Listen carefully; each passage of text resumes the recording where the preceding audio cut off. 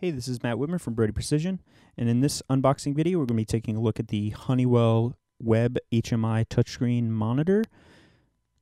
This is the 10 inch model. There's also a 21 inch, a 15 inch, a 7, and a 4 inch. And these displays are made to integrate with uh, CIPer 10, CIPer 30, CIPer 50, and Web 8000 controller. They're HTML5 uh, web browsers that are built in. They allow you to set a primary and a fallback URL, and you can have it automatically go to those pages when you power up the device. It uses an Ethernet port on the bottom for its connection to the network, no Wi Fi or Bluetooth, um, and this model has multiple Ethernet ports uh, future firmware update will allow you to use those uh, ports so that um, they are basically a switch. For our power, we're getting uh, 24 volts DC. This only takes DC, no AC. And like I said, it takes uh, it comes in uh, five different screen sizes: a four, a seven, a 10, a 15, and a 21 and the operating temperature ranges are from 32 degrees to 122 degrees Fahrenheit for the 4 and the 7 and the 10 to 21 so the 10 the 15 and the 21 are rated from negative 4 to 140 so a little bit of a wider range uh, that's allowable on those uh, the front bezel here on these guys is IP66 rated, so it can be used outside, but the back obviously isn't. Uh, it's got holes and openings and things for ventilation. Uh, that's got to be dry and protected, should be on the inside of a panel. And there's a gasket actually on the back side here. If you can see, there's a gasket here so that you can uh, partially flush mount this into a panel, and it uses these little cutouts here to uh, flush mount. Those cutouts are on all these sides. And it can be password protected, and it uses a ARM processor um, with a Linux operating system, and the browser itself is a form of Chrome. And like I mentioned, it comes in a variety of sizes. This is the 10 inch, and depending on the sizing that you get, you have different resolutions uh, which is a good thing to keep in mind if you're designing specific graphics for these devices. Uh, this 10 inch one is a 1280 by 800 pixel uh, resolution. And if you go up to the 21 inch, that's a full 1080p at 1920 by 1080 pixels. So, because it is a capacitive screen, it it behaves exactly like you'd expect it to. It's it's basically the same thing that's in your phone or in a tablet, any touchscreen device that you use today. It's not that older style where the screen kind of flexes, uh, that resistive style that's that's not as good for touch input. Uh, this guy, obviously, you're still going to want to keep in mind your uh, design for button sizes and things to you know utilize people's fingers. I have pretty small fingers, so it's easy enough for me to to get around in uh, in these pages on our demo, even though it wasn't built specifically for this. And as I say that, I I misclicked a button here, and I can bring up another page.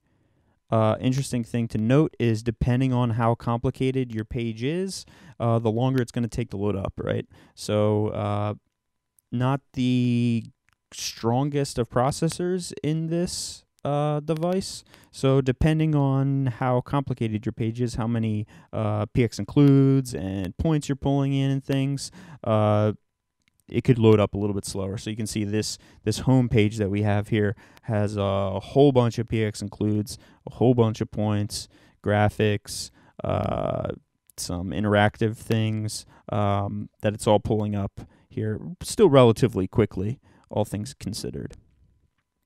So that's the basic uh, normal user interface. If I click up here to the top, I can see the uh, URL input menu bar or toolbar. And if I click on the gear here in the corner, I get to a login page. I'm going to log in as the admin here. And by default, it will come with a username and password, but it will make you change that to a secure one just like most things nowadays do. So that and it requires a, a secure password. So as you saw, I had to use a special character and an uppercase and a number. So first thing that we get when we pull up the the uh, settings page is our web browser settings, which allows us to change how we want this browser to behave on startup. I can have it go to the settings page, I can continue where I left off the last time, or I can have it go to the home page. I think most times people are going to have it set just to use the home page. And we can have a fallback too, so if that home page doesn't load up, it'll go to the fallback. We can turn off the toolbar altogether and another thing to note is that this browser by default will behave as if it's a desktop browser. So if you wanted it to behave as if it was a mobile browser, you would just turn this on and pop in mobile here, and you could you could uh, have the browser behave as if it was a mobile device. And you have your normal settings that you'd expect, you know, language, uh, date and time. We also have network, so we can go in here and uh, set our network interface uh, IP addresses. If you wanted a static IP address, you do that from here.